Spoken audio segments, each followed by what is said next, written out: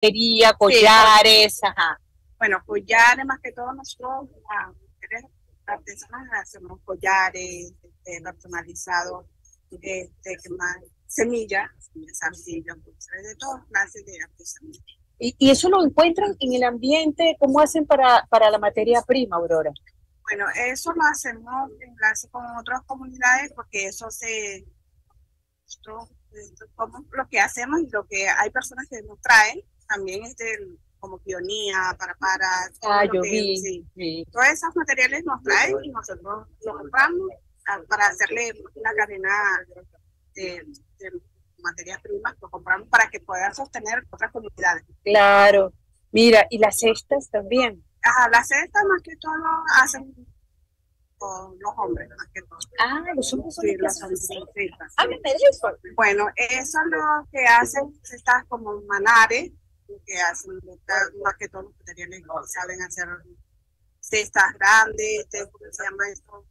Guayares. Este, hay cestas para pesca. Esta es la que utilizamos para pescar en el río. Pesca, la flecha, este, bueno, y eso es lo que queremos mostrarles a los turistas, claro. los pequeñitos como adornos. Claro, mira, Aurora, ¿y cuánto tiempo se tarda? Porque eso es otra cosa que es importante, ¿sabes? ¿Cuánto tiempo se tarda ustedes en hacer un collar o, una, o los hombres una cesta?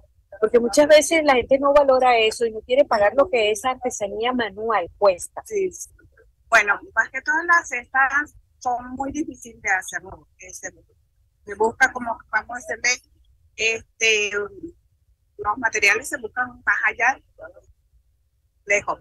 Claro, no es fácil. No es fácil. Entonces los traen, después como no, es como un palito, pero que hay que sacar la fibra y este, sacarle lo que es limpiarlo y volver a... Tiene trabajo, pues. Sí, más mínimo una cesta dura como cinco días. Ok, y un collar de esos bellísimos que... eh, bueno, los collares sencillos es como vamos a decirle como una hora, pero hay unos collares que son personalizadas que llevan día con nombre, con dibujo. Claro. Sí. Y ustedes como mujeres están asociadas, están, eh, son, ya sé que las estas son los hombres, pero a ver, como mujeres están unas a otras, a ver. Sí, eso bueno, eso esa es viene buena. sí, esa es la parte que nosotros enseñamos desde pequeño, aprendemos de Es una cosa ancestral. Es ancestral. Viene desde, bueno, mi madre es artesana. Bueno, de ella aprendí y eso va pues valorando, enseñando a otras personas.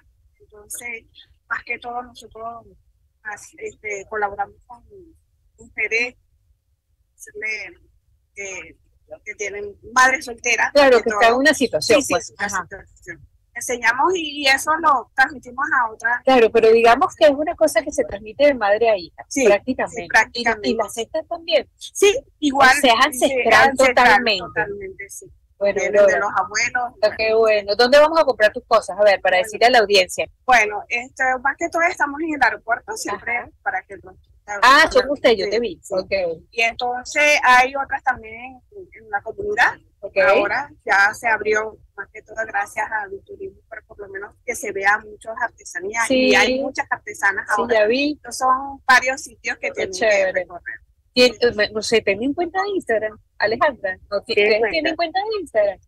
Tienen que abrirla. Este, bueno, tenemos que abrir.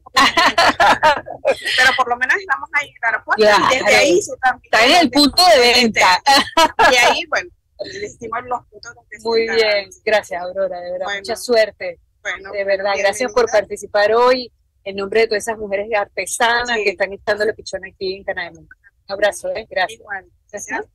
Bueno, eh, conversamos con Aurora González, representante de las artesanas. Sí, los hombres son la cestería, pero ahorita colocamos la cápsula y ya regresamos para finalizar el programa con la merienda. Miren, una merienda extraordinaria con la orquesta, bueno, ya, ya se las voy a presentar, ya, ya la van a escuchar, van a quedar emocionados cuando escuchen eso, porque el día de mañana vamos a tener justamente como invitado al director del sistema de orquesta de aquí de Canaima. Y hoy vamos a adelantar de parte de esa, de esa, maravillosa, de esa maravillosa agrupación que hace vida aquí en Canaima. Ya venimos con más.